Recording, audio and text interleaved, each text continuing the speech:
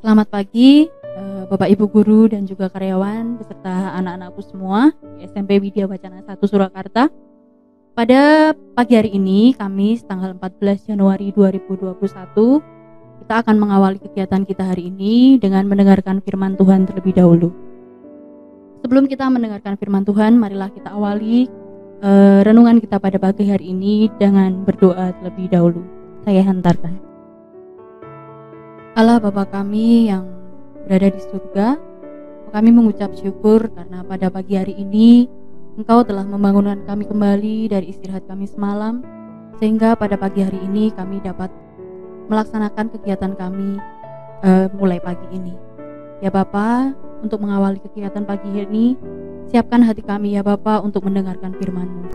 Kiranya firman-Mu yang akan Kau sampaikan kepada kami ini dapat memberi kami uh, kekuatan dan memberi kami uh, pelajaran yang baik. Terima kasih ya Bapa, doa yang jauh dari sempurna ini. Kami mohon dalam nama Tuhan kami Yesus Kristus. Amin. Baik, eh, anak-anak dan Bapak Ibu semua, eh, renungan kita pada pagi hari ini diambil dari Mazmur 66 ayatnya yang 10. Sebab Engkau telah menguji kami, ya Allah, telah memurnikan kami seperti orang memurnikan perak.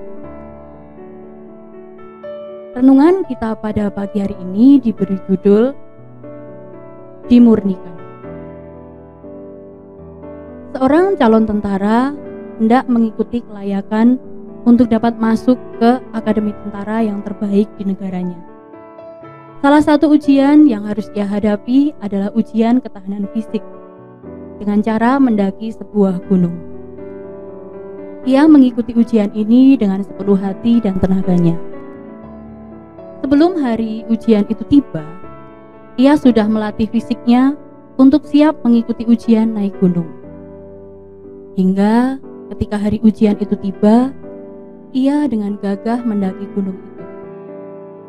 Akan tetapi, ketika hampir tiba di puncak, badannya sudah kelelahan.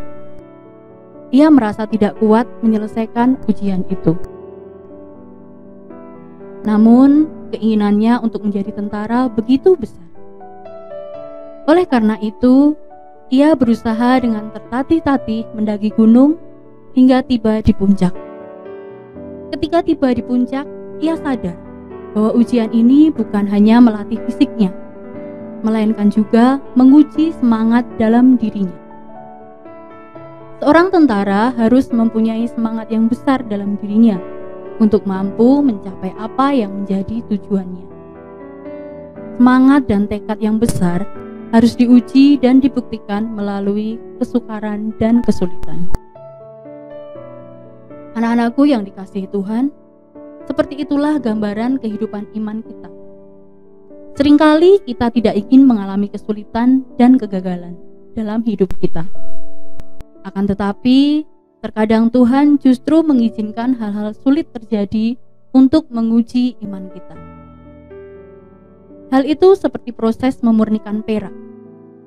Perak yang bagus harus mengalami pemurnian dengan api dan membersihkan perak itu dari debu.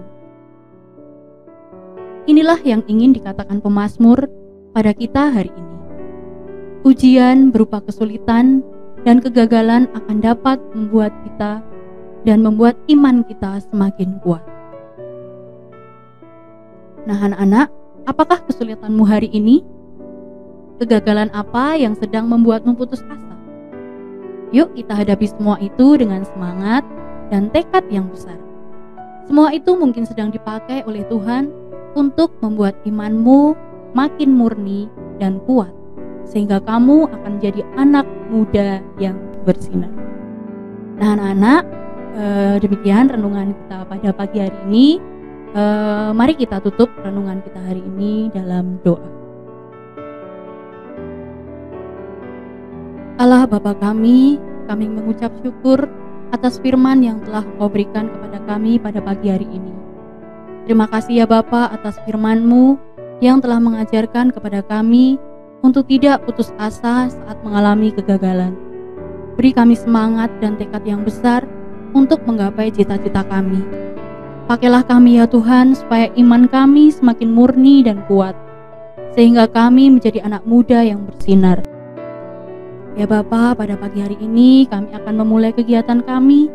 Kiranya Bapak beri kami kelancaran, beri kami berkatmu sehingga kegiatan pada pagi hari ini hingga siang nanti dapat kami lalui dengan baik. Terima kasih ya Bapa, doa yang jauh dari sempurna ini. Kami pinta dalam nama Tuhan kami, Yesus Kristus. Amin.